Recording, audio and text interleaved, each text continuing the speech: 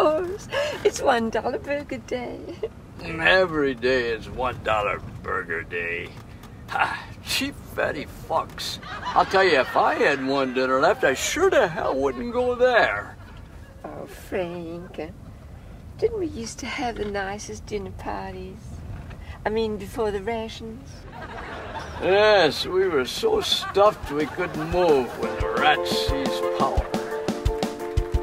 And all the time we could have done something, uh, fixed uh, voting machines, uh, uh, protested, read books, uh, taken self-help courses.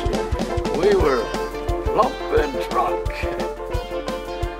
And then came the sea, Then the draft. and then the war. Then jail sentence. It's my psychosomatic darling. You had quite a run with legalized addiction.